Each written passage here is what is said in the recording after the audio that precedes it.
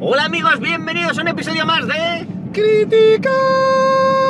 en el que vamos a hablar de Bandersnatch, aventura interactiva de Netflix. Bandersnatch, Black Mirror, Bandersnatch. Black Mirror, Blandersnatch. Bandersnatch Black Mirror, Bandersnatch. que es un episodio interactivo, una especie de elige tu propia aventura digital. ¿eh? Sí. Una cosa que es revolucionaria en su concepto, no en su contenido. Eh, bueno, y en su concepto, eh, eh, yo tengo mis dudas sobre Bandersnatch.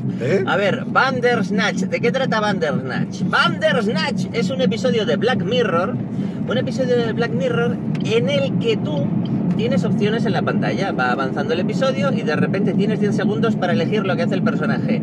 ¿Qué va a desayunar? ¿Choco Crispies o eh, Max de Kellogg? Frosties o, o no me acuerdo el Sugar otro. Puffs. Su- Sugar Puff, efectivamente. Eh, sigue, entonces, claro, es una especie de elige tu propia aventura en tu tablet o en tu dispositivo móvil. Evidentemente tiene que ser un- una tele muy lista Una o, tele muy lista, o muy un smart, iPad muy smart. o un iPhone o demás para que tú le, o un teléfono así en condiciones para que tú le des y ir avanzando en la historia.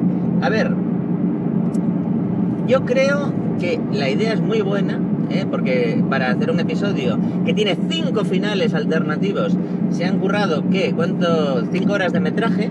Son, sí, 300, ponía, hemos- yo he leído 300 minutos Exacto. de, de grabaciones, que claro, eso da para mucho.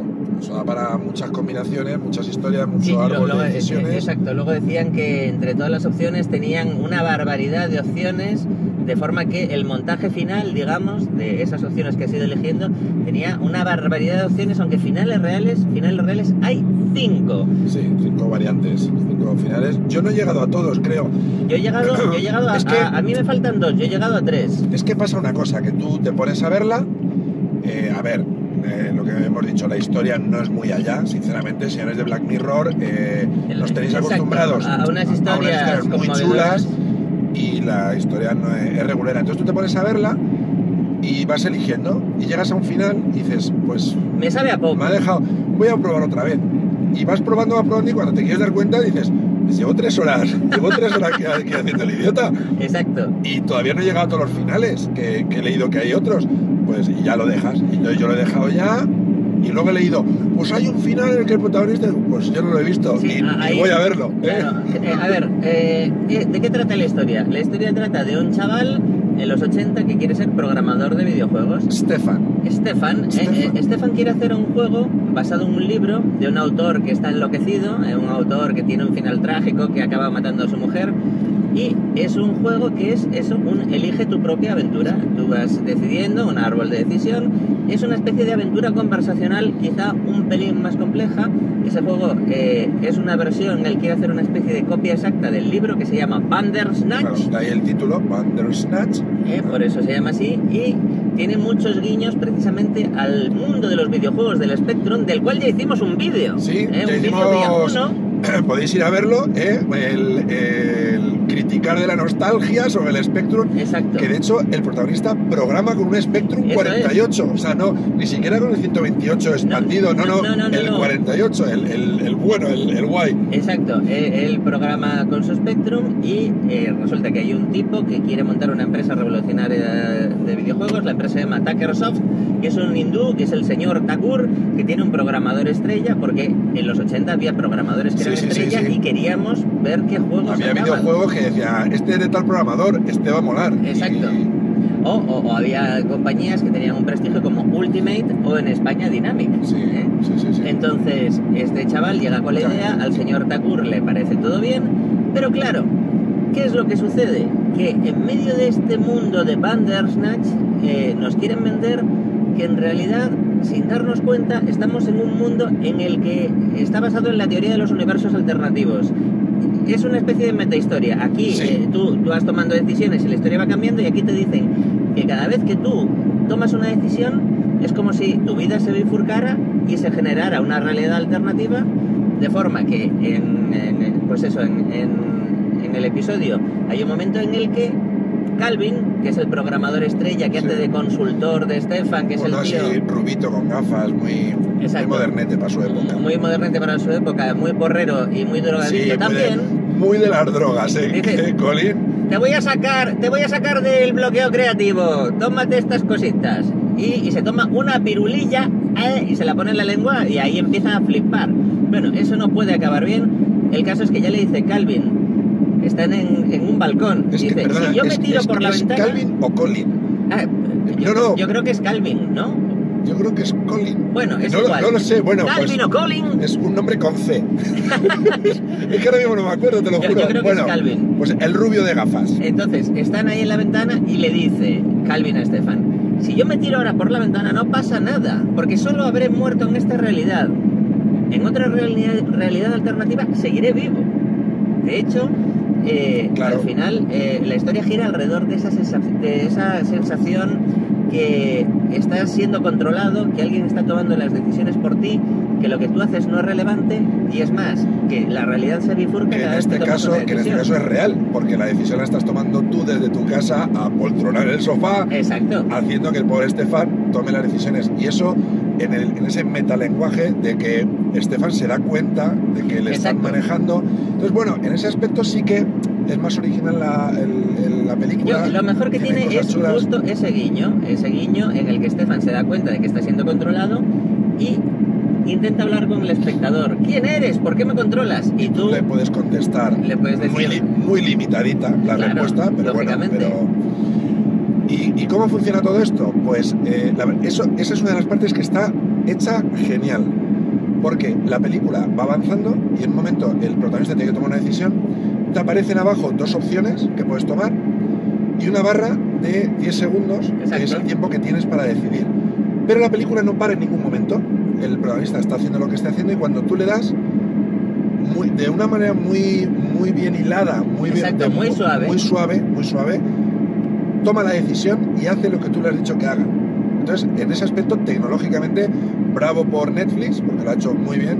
Si no tomas ninguna decisión, toma una por ti. No sé si es aleatoria o predeterminada siempre la misma, pero vamos que tú te puedes sentar sin mando ni nada y ver la película, cómo se desarrolla, tomando las decisiones que la tele decide, Exacto. lo cual tú te puedes olvidar y ver una película normal con su principio y su final, o puedes ir tomando las decisiones. O sea que en ese aspecto, bien.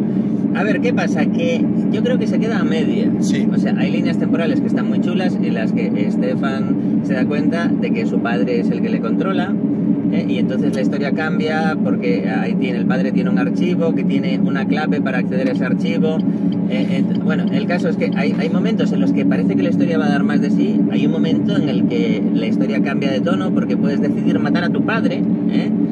Entonces, eh, pero claro, cuando acaba el final de la historia suele ser que eh, al final hay un, un típico, digamos, geek de los 80 que tiene un programa en el que valora los estrenos de los distintos juegos y te dice como qué nota ha sacado tu juego Bandersnatch. Entonces, hay una realidad alternativa en la que la puntuación es 5 de 5, pero normalmente te da dos puntos Sí, y medio. Como que termina, la- muchas de las historias, muchas de las ramas terminan con el tío este en la tele diciendo, pues Bandersnatch pues es un juego que se queda a medias, le voy a poner tal, no dos y pico, tal. O sea, Mola es- más la trágica historia. Bueno, claro. Entonces, bueno, tienes que. eh, lo- eh, entonces te, te permite volver en un bucle a intentar de nuevo tomar otra decisión para ver si llegas a otro final. Que hay un par de finales muy chulos, que no vamos a desvelar, no vamos a hacer. Porque, porque si no podemos Van a hacer spoilers spoiler ahora. de Bandersnatch, eso es lo eh, bueno, es va- muy difícil vamos porque a tienes empezar, que hacer spoiler claro, de un montón de finales alternativos. horas aquí contando los finales y no, no es plan. Exacto. No es plan. De hecho, de hecho, si queréis, en, en Reddit, eh, bueno, por internet, si o pon- en Twitter mismo hay si muchos ponéis- sitios. si hay un ponéis- árbol de decisión. árbol de decisión Bandersnatch, os sale un organigrama. Yo, por ejemplo, yo que estudié informática, Exacto. es eh, un organigrama. un organigrama con sus tomas de decisiones de toda, de toda la película. Y puedes saber, si quieres llegar a un final concreto, qué decisiones tienes que tomar en cada momento. Entonces, bueno, pues mira, eso, te- como, como lo que contábamos cuando jugamos a los juegos del Spectrum y la revista eh, Micro Hobby o tal, te traía el mapa del juego. Exacto, para ¿Dónde, ¿Por dónde tenías que ir acabar. para llegar? Pues es muy parecido. Esto es, estamos volviendo a los 80, sí que los 80 vuelven. que- Exacto, los 80 vuelven y, Madre mía. y- y en realidad yo creo que es el momento de hablar de que en los 80 nosotros ya teníamos nuestro propio Bandersnatch. Claro, Tanto en los juegos de Spectrum claro. Ah, y bueno, ya lo- vosotros mismos habéis vivido esto. Todo el que haya jugado a los videojuegos tanto en el pasado como en el presente, hay montones de juegos en los que se basa eh, pues todo el esquema del juego en el que tú tomes decisiones Claro, para llegar es- al final. De hecho, esos son los juegos. Pero en los 80, incluso antes, había unos juegos que se llaman juegos conversacionales, Exacto. que eran solo eso, como se ve en la película. Salía una foto, por ejemplo, una foto de una cueva. Es que eh, estoy pensando en uno de los primeros que se llamaba La Aventura Original, que Exacto. trataba de una cueva. Salía un dibujo súper cutre de una cueva Eso es. y te ponía, entras en la cueva o no entras tal. Y no solo tomabas decisiones, sino que tenías que escribir lo que querías hacer. Exacto. Y tenías que usar las palabras exactas. Por ejemplo, entro en la cueva y te decía, no lo entiendo. Bueno, entrar en cueva, no lo entiendo. Penetrar en cueva, hasta que dabas con la palabra exacta. que- Exacto. entonces, a veces era un poco frustrante, ¿vale? Eh, era un poco frustrante porque, claro, la tecnología era muy, muy limitada. Claro, Pero claro. eso era la parte digital. Pero luego también teníamos nuestro propio Bandersnatch, que eran los libros de Elige tu propia aventura. Los libros, efectivamente. Eh, que aquí en España eh, lo sacó una editorial, bueno, varias editoriales, pero la más importante era Timun Más. Timun y Mas, tenemos aquí un libro original de los años 80. ¡Ole! Esto es una, Eh. una reliquia. Una reliquia. Ahí está, Elige tu propia aventura. Este se llamaba El abominable hombre de las nieves. Elige tu propia aventura, 28 finales. Entonces tú ibas, por ejemplo, 28 finales y mirad qué finito es y está lleno de dibujos. O sea Exacto. que tampoco es que tenga mucha chicha la historia, ¿eh? eh, entonces tener- llegabas aquí y te ponía aquí abajo, por ejemplo, si vas a despedirte de Carlos, vas a la página 90. Si decides no hacerlo, vas a la página 91. ¿eh?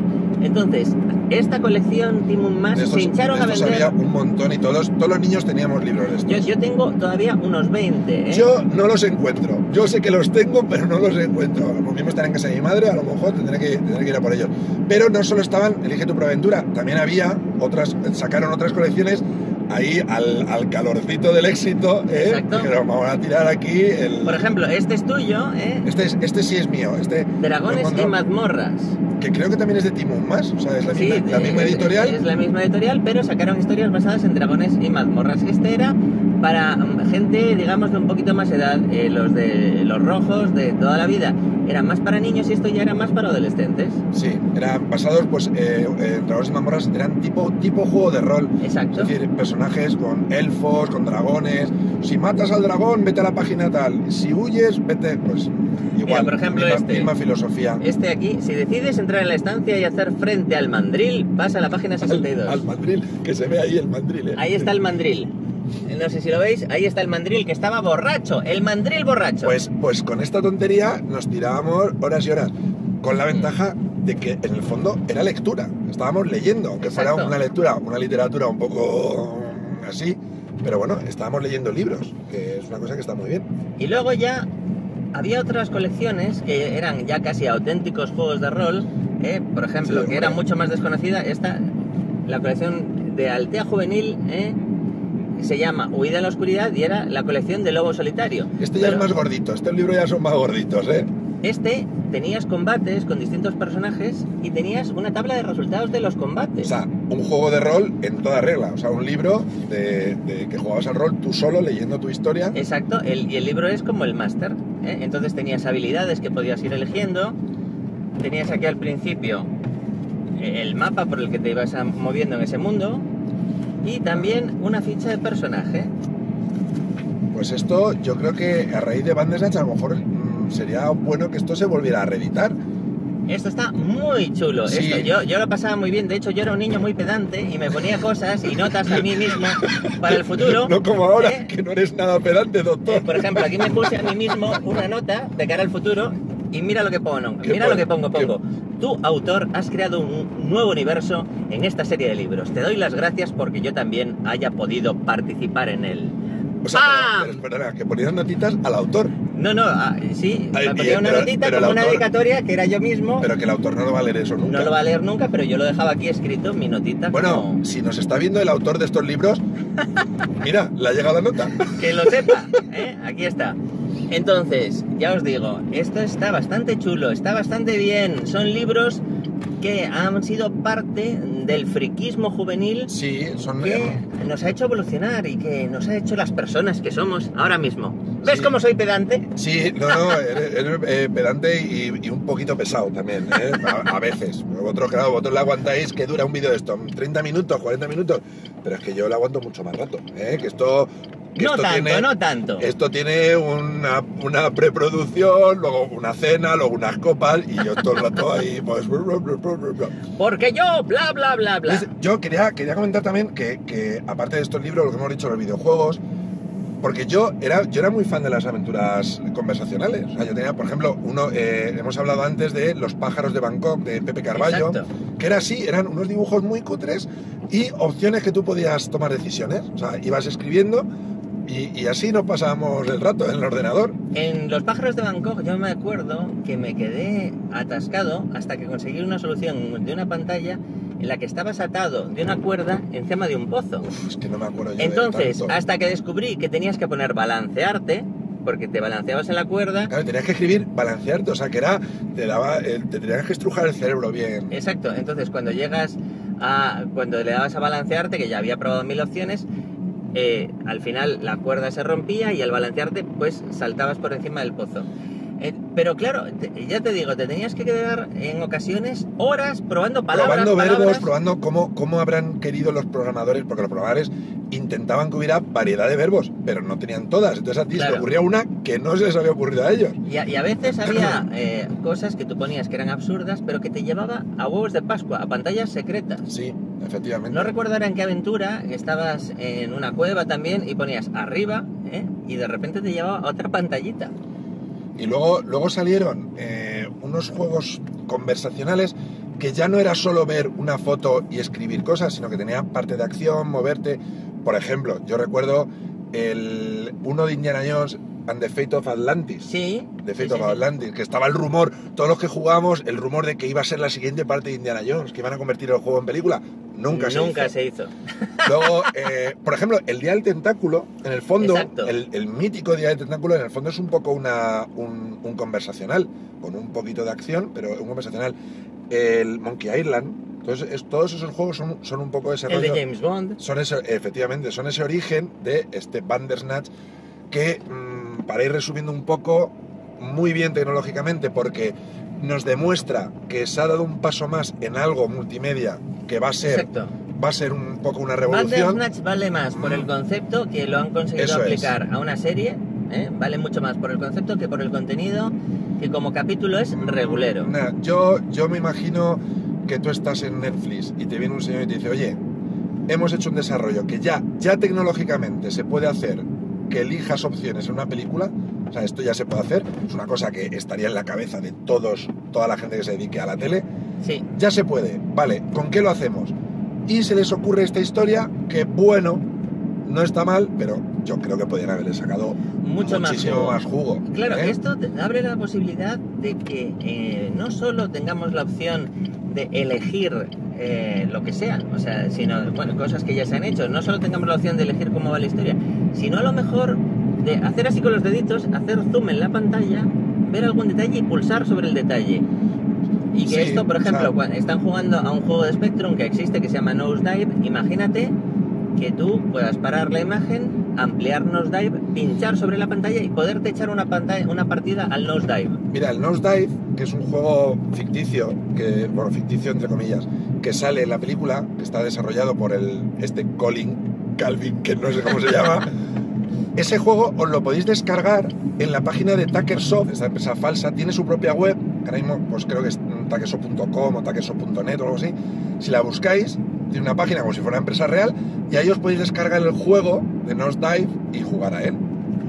Y bueno, ya sabéis, es un juego de Spectrum, con lo cual no esperéis grandilocuencias. ¿eh? Eh, pues ocho colores, ruidito de pip pip pip y bueno, pues mucha Y- imaginación. De hecho, luego tiene un final alternativo, ¿no? En el que también eh, se Ah, oye sí. el, el- el ruido. Eso lo he leído, no, no lo he visto. Exacto, dicen que hay un final alternativo en el que hay un código QR que, que lo puedes descargar y luego también que hay un sonido que es el sonido que si en realidad pudieras grabarlo y ponerlo en un emulador de Spectrum también sería el juego Sí, Nosedive. ya explicamos el- el- en el otro criticar de la nostalgia que el- los, los juegos de Spectrum eran sonido. Es decir, si tú grababas el sonido con una radio, con un grabador de sonido, se podría reproducir. Pues alguien ha visto que en uno de los finales suena de fondo un de estos. Lo han capturado, Qué bien lo imito, ¿eh? qué maravilla. Lo han capturado y resulta que si lo metes en un emulador de Spectrum es un juego también. Bueno, pues un montón de guiñitos al- a, que nos tienen acostumbrados mucho eh, Black Mirror, ese tipo de chorraditas. Bueno, hay otro guiño que es del, el, el póster, por ejemplo, que hay uno de los juegos que es eh, exactamente el póster del episodio de Black Mirror de la última temporada, Metalhead. Metalhead es, es como si fuera un juego de, la- de esa empresa. Que por cierto, ¿por qué Metalhead? Porque el director de Bandersnatch, que no recuerdo su nombre, el director, es también director del capítulo de, de Metalhead. Metalhead, y, director de mm, varios capítulos de varias series muy famosas que ahora no recuerdo, pero director de una película que a mí me flipó y que recomiendo muchísimo, que se llama Hard Candy. Pondré aquí el cartel. Me suena muchísimo, no Pues, sé si la he visto pues o no. el director de Bandersnatch dirigió una película que se llama Hard Candy, muy recomendable, que habla un poquito de pederastia, un poquito de ese rollito de, de relación con una chica muy joven y que da muy, muy mal rollo. O sea, de verdad, es una película que tiene varias cosas que te dejan eh, eso, Con el culo torcido. desasosiego. ¿eh? Si no la habéis visto, buscar Hard Candy y luego y me, nos ponéis aquí en los comentarios. He visto Hard Candy y madre de Dios. Pues Claro, eso. ahí, claro, eh, en realidad, si vosotros lo pensáis, también nosotros somos parte de vuestro propio Bandersnatch, porque cuando ponéis los comentarios, también influís en nuestra conducta en el futuro. Mira, por ejemplo, nosotros hemos hecho un poco un Bandersnatch hace poco porque había muchos comentarios que decían, tenéis que comentar Bandersnatch. Pero había muchos otros que decían, tenéis que comentar Aquaman. Ah, y al Entonces, final, eh, ha habido ahí. Yo os voy a decir una cosa. Yo he visto Aquaman ya. yo no. obligado por las circunstancias, ¿eh? por unos amigos muy pesados que querían ir a ver Aquaman y por no quedarme yo solo me fui con ellos. Y no voy a comentar nada porque estoy esperando que el doctor la vea y hacer un criticar de Aquaman. ¿eh? Todavía no la he visto, pero iré a verla. Porque me quiero explayar, me quiero explayar con Aquaman. Bueno, esto, esto es un spoiler al final. No, ¿eh? no, eh, no, no he dicho, no, me quiero explayar. Lo mismo es para bien. Lo mismo es para bien. Anda, que no nos conocemos, lo mismo es para bien. A ver, Aquaman, un superhéroe que vive debajo del agua, que es de DC, es que tiene todas A las papeletas, pues a ver, no yo sola- solamente habiendo visto el tráiler, os puedo decir que el poder más sorprendente de Aquaman para mí es precisamente que pueda hablar debajo del agua y que se entienda. Porque pruébalo tú, pruébalo tú, pruébalo tú. Pero sin embargo a él se le entiende. ¿eh? Sí. eso, eso es, ya es un superpoder, ¿eh? el poder hablar debajo del agua. Está muy bien hecho el efecto del, del pelito en el agua, que están debajo del agua, que eso evidentemente se ha rodado, no se ha rodado en el agua, pero, porque claro, no puedes tener a Jason Momo ahí una hora Claro, ¿por qué? bajo el ¿Por agua. qué? ¿Por qué? Porque te das cuenta, ¿por qué? ¿Qué, qué pasa? ¿Que acaso a Aquaman no se le arrugan las yemas de los dedos por estar todo el día bajo el agua? Acor- ¿Eh? Porque en el tráiler, man tenía que ser. en el tráiler yo me he fijado en las manos y no se le arrugan. No, no, no, Métete tú tres horas en la piscina a ver cómo sale. Pero porque tiene una piel eh, especial de pez. Como delfín, piel de delfín. ¿eh? Pues sí, sí, pues a ver, no, de verdad no quiero destripar nada de Aquaman, pero los que la habéis Bueno, visto yo, yo lo voy a ver y haremos Y comentarios de este tipo a lo mejor durante 20 minutos. ¿Qué os parece? Mm, Sí. Pues nada más, eh, ¿tienes que añadir algo más de Bandersnatch? Yo ¿Eh? creo que hemos dicho prácticamente todo lo que queríamos decir. Sí, no sé si se me escapa algo. eh, Yo creo que tenemos todo bastante bien cerradito. Pues eso, que es una cosa que hay que ver, porque está todo el mundo hablando de Exacto. ella. es- lo, lo- lo tenéis que experimentar. Más que verlo, lo tenéis que experimentar. Ah, yo debo decir que nos, eh, pues si tenéis, yo por ejemplo mi televisión es una Smart TV, pero cuando me metí a ver Bandersnatch, eh, lo que me salía era un vídeo de dos minutos de, de- de, lo siento, lo siento, lo siento, en tu tele no se puede ver esto. Que de hecho yo pensaba, digo, "Buah, esto es una broma todo, o sea, no existe Bandersnatch, es todo. Porque además, como salió el 28 de diciembre, y luego resulta que sí, por ejemplo, en el móvil sí pude, pude verlo. Entonces, si tenéis un dispositivo que no está preparado o que no tiene las capacidades, no os asustéis. Eh, buscad en otro, una tablet, o en un Exacto, móvil, en un dispositivo ordenador. móvil para disfrutarlo. En un, por ejemplo, eh, Aurelio Friquimalismo me ha dicho que él lo vio en una PlayStation. La PlayStation te permite reproducir. Entonces, Exacto. bueno, pues eh, buscad. Que merece la pena por, por eso, porque es un, un paso más en el, en el multimedia, en el entretenimiento. Sí, Como y- película no me parece gran cosa. Pero, No. pero sí, pero, pero abre, abre la puerta a un futuro prometedor. Sí, distópico no, ¿no? Distópico no, aunque, aunque hay que decir que Stefan, mm, Stefan el protagonista, tiene un problema psiquiátrico. Un problema psiquiátrico porque, ¿qué es lo que le pasa? Pero Eh, no, pierde a su madre pero de niño. espera, espera, ¿tiene estrés postraumático? Sí, sí. Porque pierde a su madre de niño y tiene pensamientos recurrentes Oye, y se ¿cuántas- culpabiliza. ¿Cuántas películas hay con, con estrés postraumático? En todas las que hemos comentado últimamente, en todas hay un estrés postraumático. Claro, ¿eh? claro que sí. ¿eh? Pues ya lo sabéis, Eso. señores guionistas. Eso y el Asperger, macho, es que. mm, Eso da para mucho. Yo creo que ya, ¿eh? Los trastornos ya del espectro autista dan para mucho a los Deberéis guionistas. dejar de usarlo ya. Buscad otra cosa, señores guionistas. Bueno, Bueno, esto es todo amigos, esto es todo por hoy. Pues ¿eh? nada, ya sabéis que tenemos camisetas, pero pronto las podréis comprar en otro sitio. es que Adelantaremos más. estamos haciendo un cambio con el tema de las camisetas que no podemos adelantar, pero que de verdad, súper en breve. O sea, en nada, en nada, en nada. en nada, nada. eso va a estar super guay, chanchi, piruli, Oye, fandangui. oye, y una cosa, suscribiros a mi canal. Ah, es verdad, es verdad. A ver, a ver, Acebedismos tiene ahora mismo 4.700 Sí, seguidores. por ahí, por ahí. Y yo os quiero decir que de regalo de Reyes, de regalo de Reyes a Acebedismos, tenéis que intentar que Acebedismos llegue a los 5.000 Pero, suscriptores. Pero, no, a ver, un momento. Tenéis que suscribiros y subirme los seguidores, pero como regalo de Reyes no me vale. Tú me tienes que comprar algo, doctor. O sea, no me No, vale no, que, no, no. que me llegues y me digas, todo tu regalo de Reyes, 5.000 suscriptores. Tu regalo de que Reyes. está muy bien, pero. Yo ya lo estoy dejando aquí caer y oye. No, sí, oye, porque además, ya lo dije el otro día, en ese directo que hicimos, que hicimos un directo, Un que no se directo grabó, fantasma. que se, se borró porque falló el móvil del doctor. En ese directo lo dije, que cuando llegue a los 5.000 voy a hacer, voy a dar una sorpresa, voy a hacer un sorteo, vamos a hacer una cosa especial. Nos dijo alguien que hiciéramos un directo desde Fabric. Vale, Para eh, hacer, igual lo pero hacemos. bueno, eh, tenemos que pedir permiso a los señores de Fabric, a lo mejor por, por lo que sea no les apetece. Pero bueno, algo, algo especial haremos. Y ya digo que voy a sortear cosas, así que mm, suscribiros. Y suscribiros al del doctor también. Exacto, ¿Eh? pero sobre todo al de No, Acebedismos. a los dos, a los dos, a los dos. que todo suba y hagamos más crítica. Y presionarle para que vea Aquaman. Poner aquí, oye, doctor, ve Aquaman y. Lo voy a ver, no la- hace falta que me presionéis, porque lo voy a ver. Lo voy a ver. Bueno, señores, pues nada, que os dejamos. Hasta aquí lo dicho. Que si no habéis visto Bandersnatch la veáis y eso, y ya. Y ya. Y nos ponéis lo que os ha parecido, si estáis de acuerdo con nosotros y todo eso. Y pronto más criticar. Oye, que si nos veis por ahí, que no, ahora vamos a, a tomar algo, que si nos veis por ahí, saludarnos. Exacto, ¿eh? decirnos, ¡Oye, qué Que pasa! luego- ¿Qué pasa? Que luego la chavales?". gente, la gente nos pone comentarios de ay, os vi el otro día en Kinépolis y me dio vergüenza Pues saludaros". venid, venid. Pero, venid a perdona, nosotros. pues, sí, estamos deseando que nos salude la gente. Si no es que no nos habla nadie. ¿eh? Eh, ¿no Nosotros en el que- trabajo, en el trabajo estamos que no nos habla nadie. Sí, ahí Entonces, estamos, bueno, pues- en, en el ostracismo. Pues si nos habla Eh, que alguien por es la un calle, pues de mejor. ostras, pero es otra cosa. El ostracismo. Ah, el ostracismo. eh, ostracismo, qué bueno, tío.